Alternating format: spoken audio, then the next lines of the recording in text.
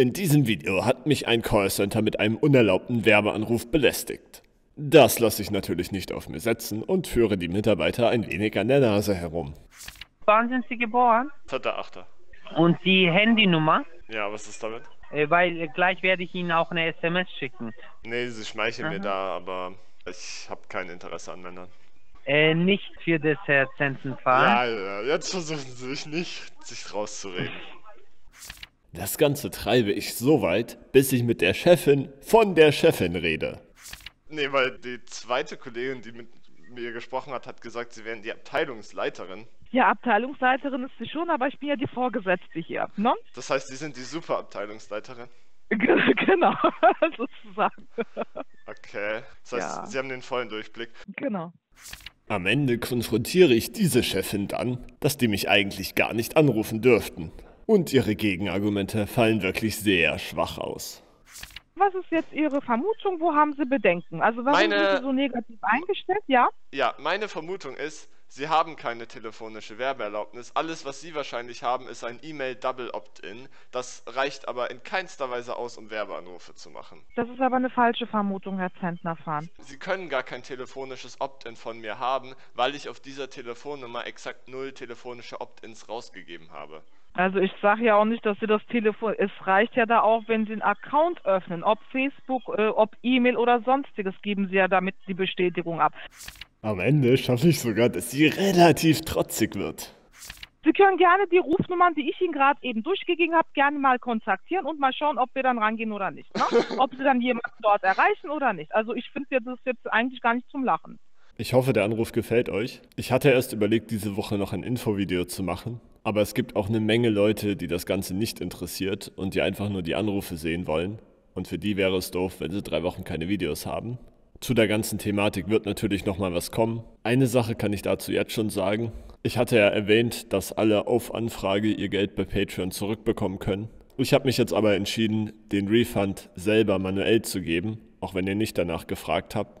Außerdem wäre auf diesem Video eigentlich Werbung für Rhino Shield. Ich habe mich aber auch mit denen zusammengesetzt und das Ganze auf unbestimmte Zeit verschoben, weil ich denke, es wäre unpassend nach den letzten beiden Videos, obwohl die Abmachung mit Rhino Shield davor getroffen wurde und ich dafür ganz normal alles Geld bekommen würde. Egal wie schlecht die Resonanz wäre, hätte ich auf diesem Video doch Werbung für Rhino Shield gemacht.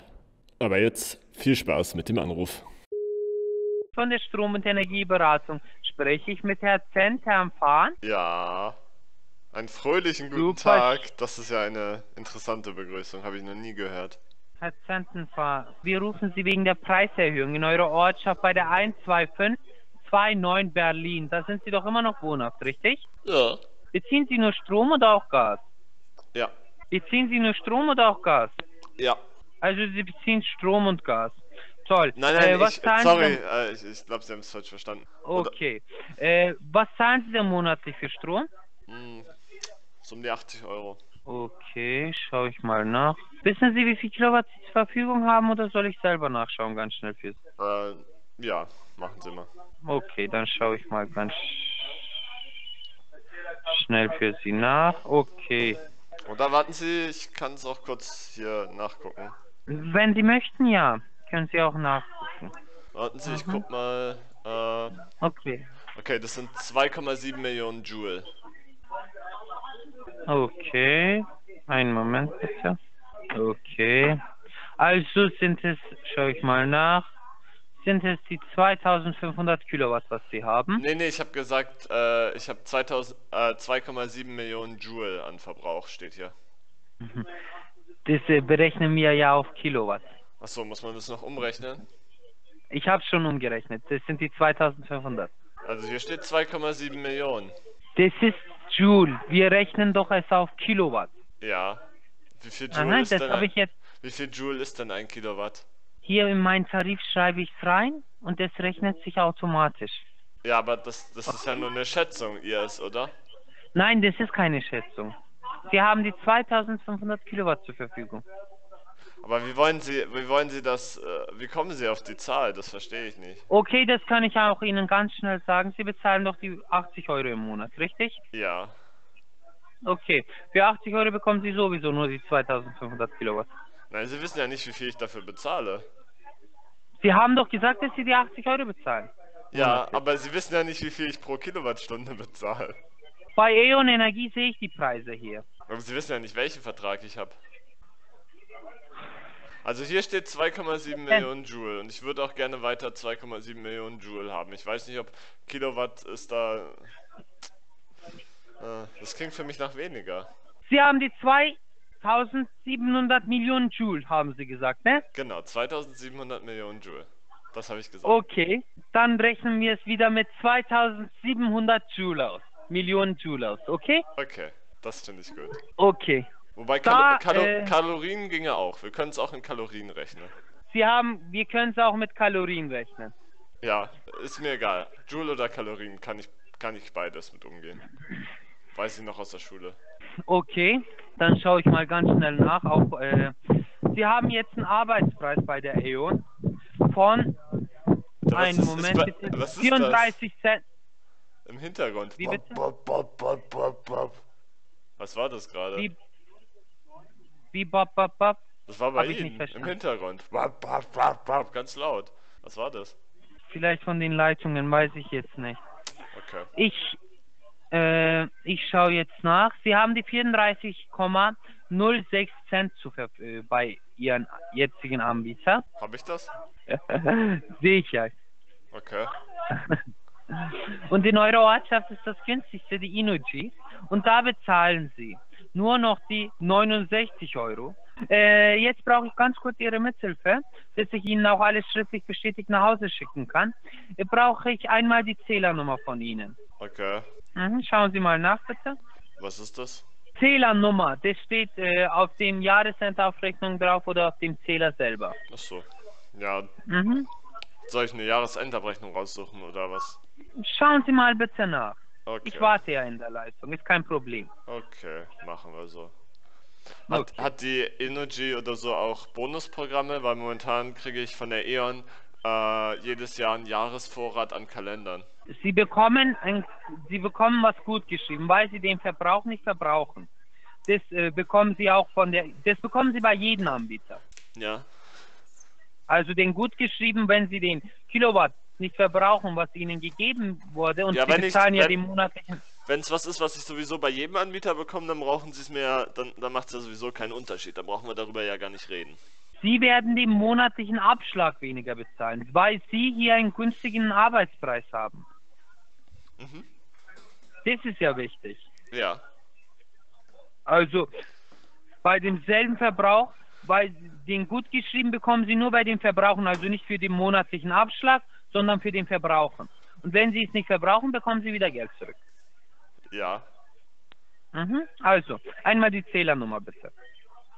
Ja, okay, dann suche ich jetzt die Endabrechnung Okay, raus. schauen Sie mal nach, ich warte in der Leitung, ist kein Problem. Ja. Nee, mir ist halt so, so Bonussachen und äh, Kundenservice ist mir halt wichtig.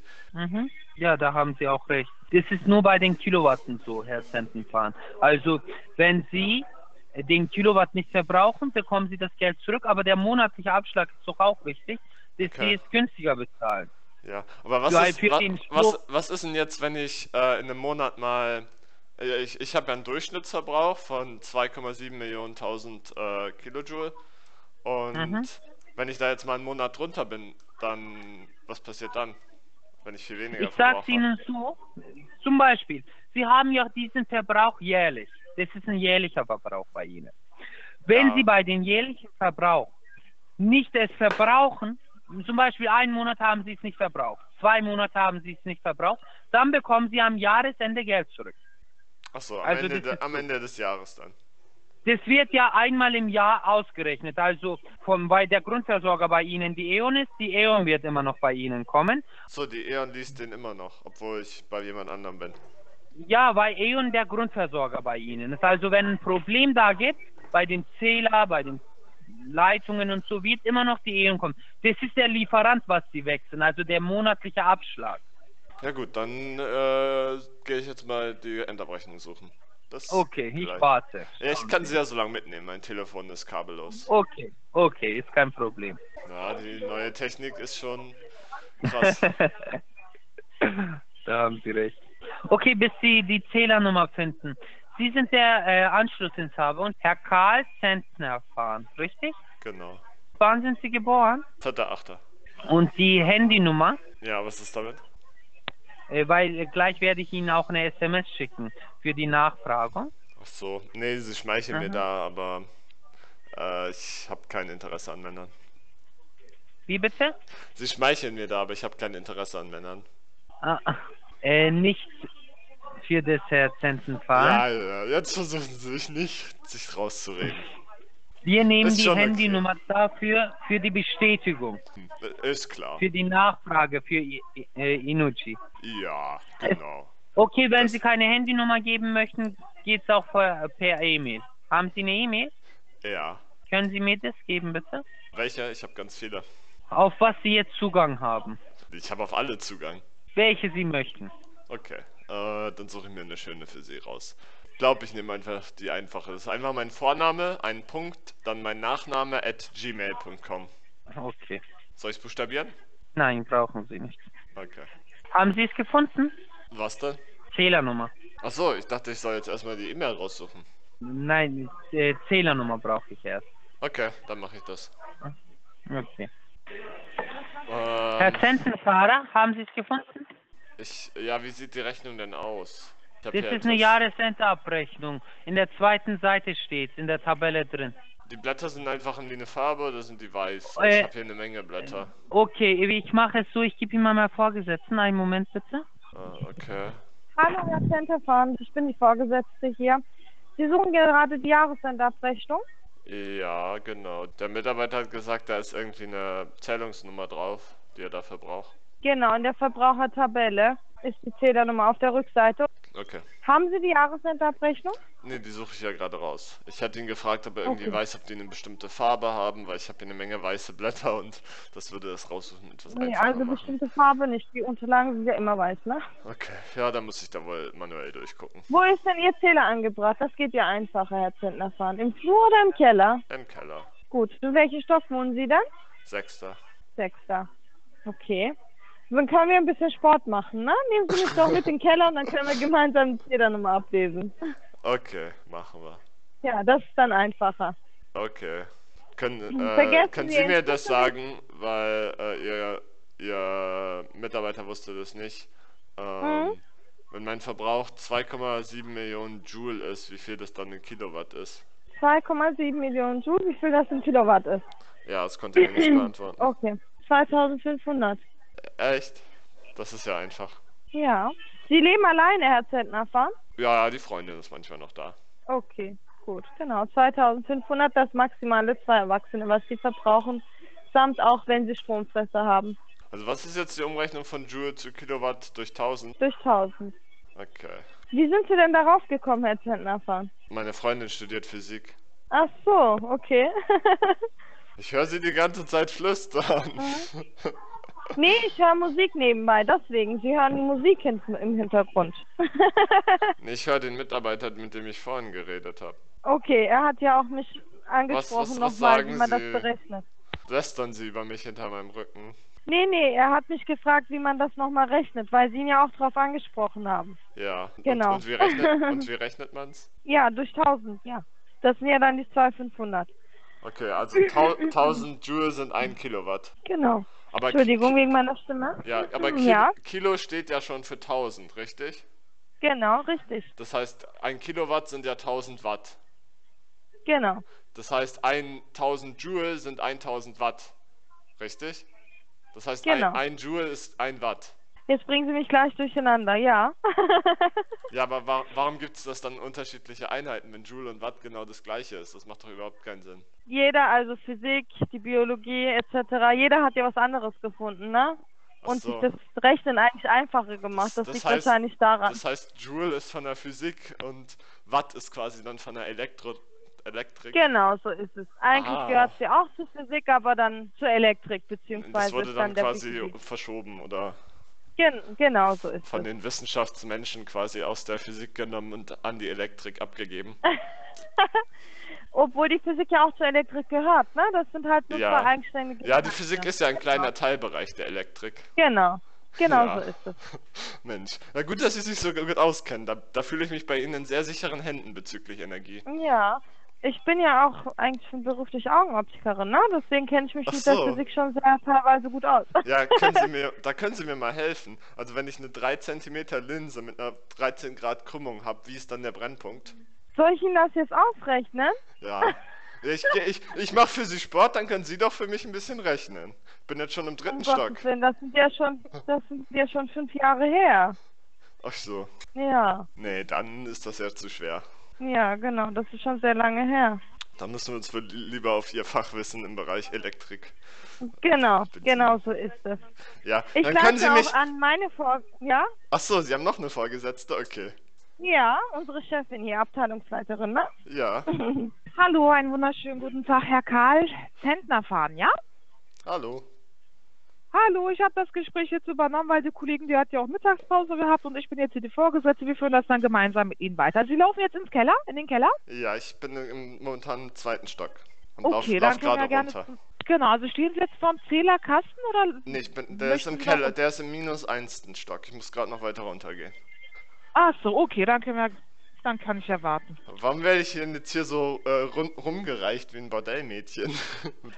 Nee, normalerweise ich übernehme ich ja die Gespräche, aber das Problem ist jetzt gerade eben dies gewesen. Ich war in einer anderen Besprechung, in einer anderen Leitung. Deswegen hat die Kollegin das von dem Kollegen, äh, der neu aus der Schulung raus ist, übernommen gehabt. Deswegen, ne? Ah, Ja. Warte. Also ich reiche jetzt nicht mehr weiter. nicht. Auch, auch nicht, wenn ich ganz lieb frage. nee. Okay. Ja, nee, weil die, die, die zweite Kollegin, die mit mir gesprochen hat, hat gesagt, sie wären die Abteilungsleiterin. Ja, Abteilungsleiterin ist sie schon, aber ich bin ja die Vorgesetzte hier, ne? Das heißt, sie sind die Superabteilungsleiterin. Genau, sozusagen.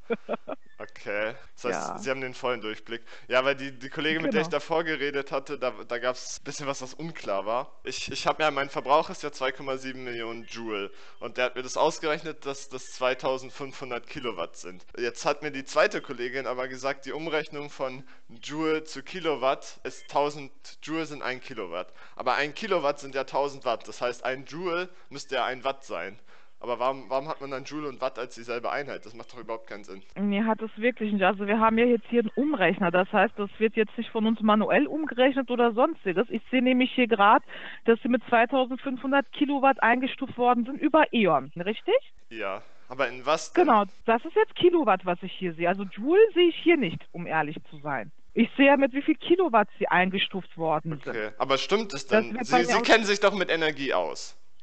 Ja, mit Energie ja, aber mit Ja, den Umrechnungen nicht. Das ist ja die Rechnungsabteilung, die Berechnungsabteilung, weil wir haben jetzt so, hier Systeme, wo das System Sie haben eine Berechnungsabteilung, die solche Genau, das ist die. Berechnungsabteilung, die die Zusammensetzung dann durchführen. Bei uns wird es jetzt hier automatisch angezeigt und automatisch umgerechnet laut System, ne?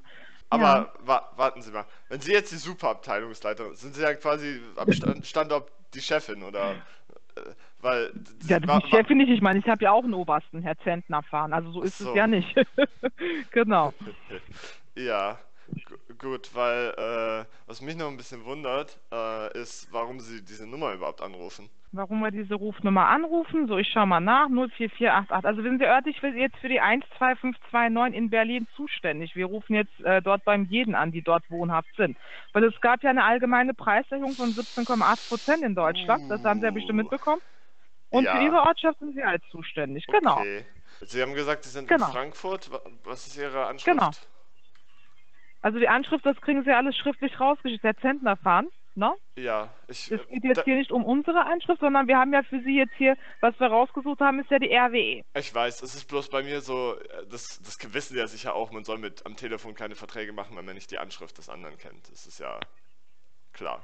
Äh, also ich weiß jetzt nicht, worauf Sie hinaus wollen. Die Anschrift kann ich hier natürlich wegen Datenschutzgründen nicht rausgeben, aber das kriegen Sie ja sowieso per Post rausgeschickt. Und der Vertrag verbleibt ja nicht telefonisch, sondern der Vertrag kommt ja erst dann zustande, nachdem Sie die ganzen Unterlagen erhalten haben. Also das ist ich, ja klar. ich weiß nicht, welches Verständnis von Datenschutz Sie haben, aber Datenschutz bezieht sich auf Personen, nicht auf Firmen. Sie können mir eine Firmenadresse rausgeben, das hat nichts mit Datenschutz zu tun. Nee, also von der Vermittlungsabteilung darf ich das jetzt hier nicht tun. Doch. Ich habe Ihnen ja die Telefonnummer, alles Mögliche durchgegeben.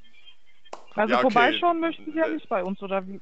ja? Ich, ich möchte wissen, von wo ich angerufen werde. Sie, Sie rufen Ja, mich aus ja an. Frankfurt, natürlich. Ja, von wo genau? Da habe ich ein Recht drauf sogar. Äh, also Herr Zentner fahren. Die Anschrift, sie wird Ihnen alles mit beigelegt, mit denjenigen, sagen- wie Sie sag- dann in Kontakt treten können oder Ja, nicht. ich möchte aber nicht die An das ist ja wahrscheinlich nicht die Anschrift von Ihnen. Ich will Ihre Anschrift. Sie rufen mich ja an. Wir sind aber von der Vermittlung. Wir sind ja nicht Ihr. Anbieter oder auch nicht Ihr nächstiger Anbieter. Nee, Ich- also das kann ich Sie leider sind, nicht Sie sind mein Geschäftspartner hier. Sie, Sie haben mich angerufen. Das heißt, ich habe ein Anrecht darauf zu erfahren, wer mich anruft. Und das ist inklusive Ihrer Adresse. Also Geschäftspartner sind wir ja nicht. Ihr Geschäftspartner ist ja die zukünftige RWE, nicht wir, Inuji, ne? Doch, Sie sind auch der Geschäftspartner, weil die, Sie die Vermittlung übernehmen. Das, Sie sind ein Mittelsmann, da sind Sie genauso geschäftsmäßig drin. Wenn Sie sich da nicht sicher sind, dann können Sie mich auch Ihrem Vorgesetzten geben. Ich, ich, der wird das sicher verstehen. Also ich teile Ihnen ja das mit, was ich hier äh, zu sehen habe und beziehungsweise was ich darf und was ich nicht darf, weiß ich ja Bescheid. Ne? Also da muss ich Sie ja nicht weiterreichen, eigentlich nur um die. Aber wenn Sie ein anderes Sachverhalt haben, kann ich das gerne weitergeben. Ja, ich würde gerne mit Ihrem Vorgesetzten reden. Gut, dann kann ich das ja gerne so weiterleiten, dass Sie dann zurückgerufen werden, weil äh, im Platz ist er ja jetzt nicht momentan, ne? Gut, dann er kann mich ja zurückrufen. Ähm, Genau. ich fahre aber gleich weg, also dann muss er es vielleicht ab nächste Woche Montag versuchen, wenn er mich heute nicht mehr erreicht. Ja, ich kann ja die Unterlagen rausschicken. Herr Zendermann, was hat das denn jetzt mit unserer Anschrift zu tun, bitteschön?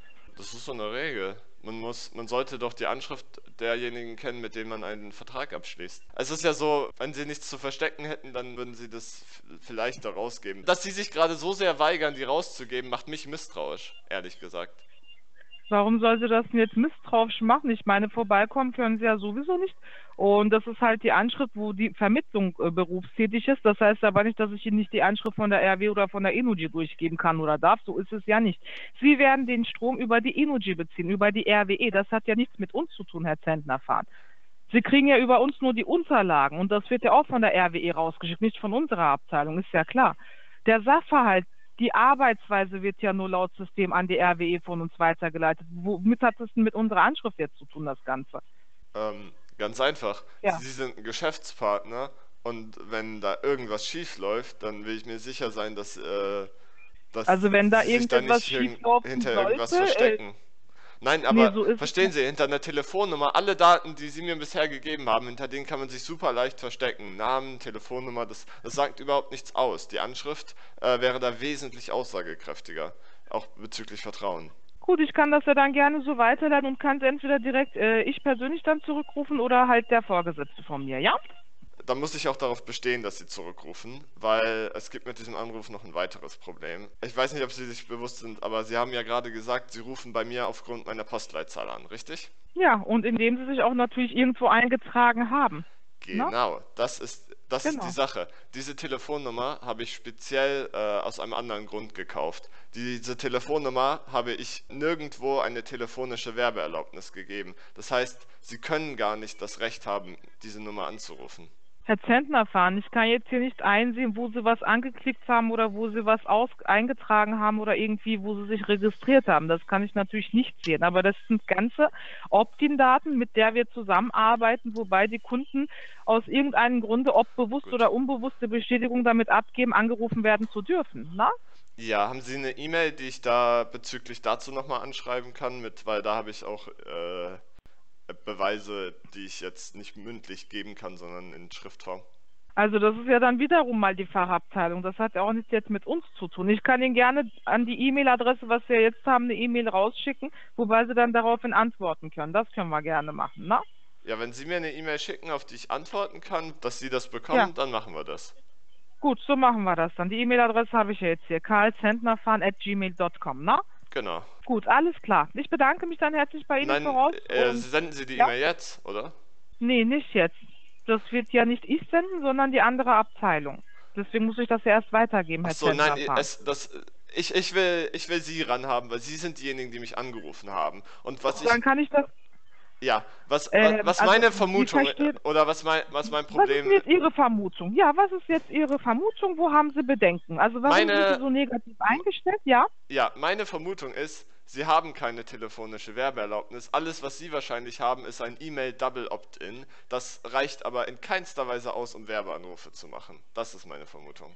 Das ist aber eine falsche Vermutung, Herr Zentner fahren. Sie, wie, Sie, haben, Sie können gar kein telefonisches Opt-in von mir haben, weil ich auf dieser Telefonnummer exakt null telefonische Opt-ins rausgegeben habe. Also ich sage ja auch nicht, dass Sie das Telefon. Es reicht ja da auch, wenn Sie einen Account öffnen, ob Facebook, äh, ob E-Mail oder sonstiges, geben Sie ja damit die Bestätigung ab. Ob Sie, Sie zeigen, irgendwie äh, dass bei Sie, einem Sie zeigen wieder, dass Sie. Sie zeigen wieder, dass Ja? Sie nichts von, dass Sie Datenschutz nicht verstehen. Ähm, nein, Also es ich ist nicht so. Um ein, um, Haben Sie eigentlich, ja, also worauf möchten Sie jetzt hinaus? Weil, ja, wie kann ich Ihnen weiterhelfen? Wo ich möchte darauf hinaus, dass das Ja. ein illegaler Anruf hier ist und Sie haben sich gefälligst sonst dafür recht zu fertigen, wenn Sie Sie das machen. Nee, so ist es natürlich nicht. Sie können einen, äh, also einen Werbeanruf bei denjenigen können Sie ja gar nicht zurückrufen. Das wissen Sie ja bestimmt. Sie können gerne die Rufnummern, die ich Ihnen gerade eben durchgegeben habe, gerne mal kontaktieren und mal schauen, ob wir dann rangehen oder nicht. Ne? ob Sie dann jemanden dort erreichen oder nicht. Also ich finde das ist jetzt eigentlich gar nicht zum Lachen. Ne? Nein, Ja. mir, mir geht es darum, verstehen Sie? Ähm, glauben Nee, Sie, Sie beschuldigen uns hier Ja. mit irgendetwas, wovon Sie eigentlich gar keine Ahnung Doch. haben, Herr Zentner. Mal andersrum gesehen, ne? Okay, wo, wo habe ich was Falsches gesagt? Wenn ich keine Ahnung habe, dann sagen Sie mir Ja, Sie bitte, sagen, dass das keine. Opt-in-Daten sind oder sonstiges. Ich meine, ich weiß, dass wir mit Opt-in-Daten arbeiten. Sie das arbeiten mit ich. E-Mail Opt-in. Das heißt, man bekommt eine E-Mail, da klickt man einen Link an, um das zu bestätigen. Das reicht aus, dass Sie mir Werbemails schicken dürfen. Das reicht nicht aus, damit Sie mich anrufen dürfen. Nee, wir arbeiten nicht mit Werbe-Opt-ins oder Werbemails oder wie auch immer. Nein, ich weiß jetzt Sie, nicht, wissen nicht sowas Sie wissen nicht mal, wie die Opt-ins heißen. Das heißt E-Mail Double Opt-in, damit arbeiten Sie. Und das, was Sie brauchen, gut, ist telefonisches. Opt-in. Okay, und was machen wir jetzt? Gut. Jetzt, ja, Gehen ich, wir mal ich, davon ich, aus, Sie haben ich recht. will da, jetzt? ja, Ja. ich will, dass Sie, dass Sie nachweisen, dass Sie mich angerufen haben und wenn Sie es nicht tun, dann ist das ein illegaler Werbeanruf und ähm, dann müssen Gut, Sie Sie können das ja aufnehmen, wie Sie es wünschen. Gut, Sie können das ja aufnehmen, wie Sie es wünschen, Herr Zentner. Ich darf es ne? auf, darf's aufnehmen, wie ich möchte. Nee, Sie können es aufnehmen, wie Sie es möchten. Ob Sie das Okay. jetzt negativ aufnehmen oder positiv. Ob Sie jetzt äh, der Meinung sind, ob das so ist oder nicht. Ich meine, ich kann ja hier erzählen, was ich will. Sie glauben ja nicht. Was kann ich denn da noch machen für Sie? Na?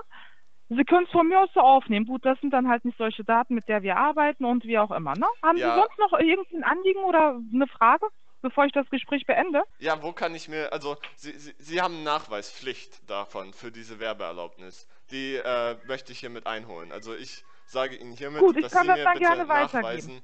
Ja, und zwar sch schreiben Sie bitte dazu telefonisches Opt-in. Und was Sie sich auch noch aufschreiben sollten, ist äh, Bundesgerichtshof Urteil IZR 164-09.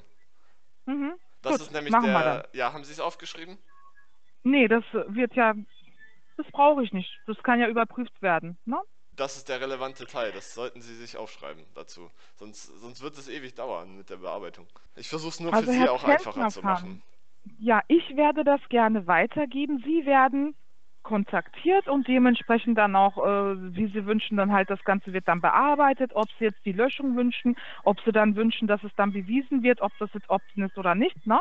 Das wird alles dann mit Ihnen besprochen, aber ich bin die falsche Ansprechpartnerin. Ja gut, ich, ich möchte, was, Ja. das Einzige, was ich gerade sicherstellen möchte, ist, dass die Personen, die diesen Fall bearbeiten, an die Sie das jetzt weiterleiten, alle wichtigen Informationen schon haben. Ja, aber Sie werden doch sowieso diesbezüglich kontaktiert. Das müssen Sie ja mit denen besprechen, nicht mit mir. Deswegen, das Nein, können Sie ja gerne das dann denen Sie ja, mitteilen. Das können Sie ja gleich dazu schreiben. Also ich möchte, ich möchte gerne, dass Sie ein paar Punkte dazu schreiben. Äh, das wird die Sache sehr verschnellern. Ich hoffe noch, dass das Ganze eine positive Lösung hat und nicht in irgendwas Schlimmem endet, weil ich meine, gucken Sie sich mal das Callcenter von der AOK an. Die haben dann am Ende 100.000 dafür gezahlt und das wollen Sie ja sicher nicht. Herr Zentner fahren, ich meine, äh, ich weiß jetzt nicht, worauf Sie wieder hinaus wollen. Also Das, was ich mit gerade Erpressung genannt habe. kommen wir ja nicht Nein, weiter, ne? nein, überhaupt also ich nicht. Das Ich, ich Gespräch, Sie nicht. Nee, ich muss das nein. Gespräch jetzt leider Gottes beenden, weil ich noch 17 Anrufer in der Leitung habe, in der Warteschlange, ne? Die muss ich ja auch ent entgegennehmen, ne? Ja, Sie, Haben ich, Sie sonst noch was zu sagen, bevor Sie kontaktiert werden von der Fachabteilung? ich, würde, ich würde es bitte nicht, dass Sie mich der Bestechung bezichtigen. Nur weil Sie Nee, also verstehen, Sie, was ich Sie, sage. äh, Doch, Sie sagen Sie ja. geben Sätze von sich. Nee, also Sie sagen irgendetwas mit der AOK, was Sie da zahlen müssen und Ja. dass wir das dann. Ja, das ist eine Erpressung, nichts Nein. weiteres, Herr Zentner. Ist es nicht? Ich, ich, ich Ja gut, dann habe ich das wahrscheinlich negativ aufgenommen. Ja, Gut, warum- alles klar. Ich muss das Okay. Gespräch jetzt beenden, Ja, weil gut, ich mit den weil ich- anderen ich- Kunden, wie gesagt. Gut. Ja, äh, ich wollte ihm bloß sagen, das hier ist die offizielle Anfrage an Sie, dass Sie mir diese Werbeerlaubnis liefern müssen. Das heißt, Sie haben jetzt eine Frist von einem Monat. Mhm, mhm, mhm, mhm. wenn Sie mir bis dahin äh, die Bestätigung nicht liefern, haben Sie ein Problem. Schön. Okay, Dann, danke. Tschüss. Danke. Ciao. Schönen Tag noch.